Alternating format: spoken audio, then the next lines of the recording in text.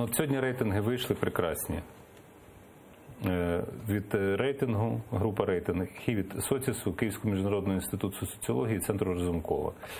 Е, Щоправда, як ми сьогодні вже досліджували тему, жоден з них не подає інформації, яка відповідно до закону має з'явитися, хто заплатив за ці соціологічні дослідження.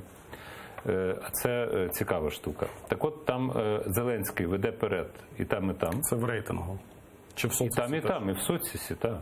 Е, Зеленський і там, і там веде перед.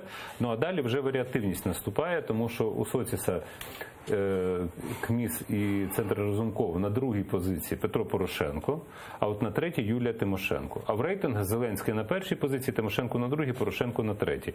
От мені просто цікаво. От перший тур, другий тур, е, за кого б ви голосували, але що ж тут питати, якщо ви А мені не цікаво. От, от, от відповідь проста, мені не цікаво. Хоча, знаєте, ну відверто кажучи, е, ну що, що таке соціологія в Україні? Звідки вона береться?